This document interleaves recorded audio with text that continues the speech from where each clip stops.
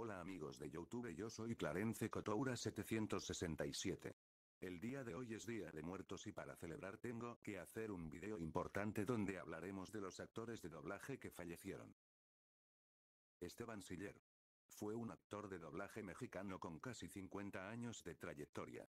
Conocido por ser la voz de Sam Bigotes M.R. Mago el maestro o J.R. Gargamel en la serie de los Pitufos y otros más. Falleció causa de un paro cardiorrespiratorio el 23 de octubre del 2013 a los 82 años. Jesús Barrero. Fue un actor de doblaje que incursionó cuando era niño pero el más conocido por ser la voz de Rex en Toy Story la galleta de jengibre en Shrek Luke Skywalker en Star Wars Kuzco en Las locuras del emperador. Pero es más conocido es la voz de Seilla de Pegaso en Los Caballeros de Zodíaco y otros más personajes. A los 57 años falleció el 16 de febrero del 2016 a causa de cáncer de pulmón que había diagnosticado en marzo del 2015. Ángeles Bravo. Fue una actriz del doblaje fue conocida por darle voces graves en ancianas. Fue la voz de la madre del profesor Skinner de los Simpson Berta en Dos hombres y medio la abuela Jojo en El increíble mundo de Gumball Muriel en Coraje el perro cobarde y muchos más. Esta gran persona falleció el 18 de diciembre del 2018 a los 73 años. Mainardo Zavala fue un actor de doblaje mexicano, que tiene una voz grave en el mundo de doblaje. Fue la voz del rey Harold en las películas de Shrek el antagonista en Monsters Incorporated Jumba en Lilo y Stitch el señor Vitalis en Remy el niño de nadie.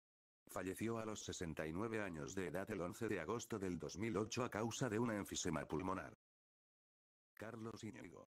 Fue un actor de doblaje que tiene una voz, es el más conocido por ser la voz de Rocco en la vida moderna de Rocco el profesor Flea en Los Simpson y otros más personajes. Falleció a los 56 años el 17 de septiembre de 2017 debido a complicaciones cardíacas. Araceli de León. Fue una actriz de doblaje mexicana, era la voz de grandes personajes como Rosy anciana en Titanic Yajirobe en Dragon Ball Novita en Doraemon Martin en Los Simpsons Sailor Júpiter Sailor Moon y otros más.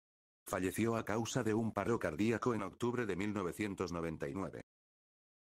Norma Echevarría fue una actriz de doblaje mexicana, es la más conocida por ser la voz de Asuka en Genesis Evangelion. Falleció en octubre de 2013. Enrique Medianos. Fue un actor de doblaje conocido por ser la voz de Chucky el Supremo Kaiosama Aciano Blandonle el padre de Sakura y el narrador de Digimon. Falleció en 2004 de una afección hepática.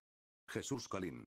Fue un actor de doblaje es el más conocido por ser la voz del maestro Rossi de Dragon Ball y Dragon Ball Z. Falleció en mayo del 2011 de causas naturales.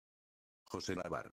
Fue un actor de doblaje mexicano conocido por ser la voz de Fred en Scooby-Doo o Magneto en Los X-Men y el más conocido por ser el narrador de Dragon Ball. Falleció el 15 de mayo del 2018 a causa de una decisión renal. Hiromiya Yakawa. Fue una actriz que participó en el musical La Academia, también fue actriz de doblaje conocida por dar voz a Sonata en My Little Pony Equestria Hills Rainbow Rocks Draculaura de Monster High Alicia en Alicia en el País de las Maravillas de Tim Burton y su secuela y Mérida de la película Valiente. Falleció el 27 de septiembre de 2017 por complicaciones durante el parto su bebé también falleció.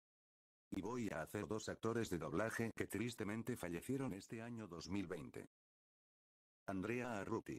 Fue una actriz de doblaje mexicana que comenzó su carrera a los 8 años de edad, las más conocida por ser la voz de la pirata de Jaque los piratas del país de Nunca Jamás, la amiga de Aklelom en My Little Pony, la magia de la amistad, la princesa Galleta en Hora de Aventura Pop en la película de Trolls y Violette Evergarden en la serie del mismo nombre y muchas más. La causa de su muerte fue debido a un problema cardíaco que fue deteriorando su salud hasta que finalmente falleció el 3 de enero del 2020 a los 21 años. Luis Alfonso Mendoza. Fue un actor de doblaje mexicano, es el más conocido por ser la voz de varios personajes como Daniel en Karate Kid de 1984 Bugs Bunny Shannon Cooper en The Big Bang Theory Leonardo de las Tortugas Ninjas y la voz de Gohan en Dragon Ball Z y muchos más. Trágicamente Mendoza falleció el 1 de marzo del 2020, él fue asesinado junto con su esposa y su cuñada durante un atentado. Que descansen en paz estas grandes personas. Bueno amigos de Youtube si te ha gustado el video suscríbete, dale like y activa la campanita los vemos.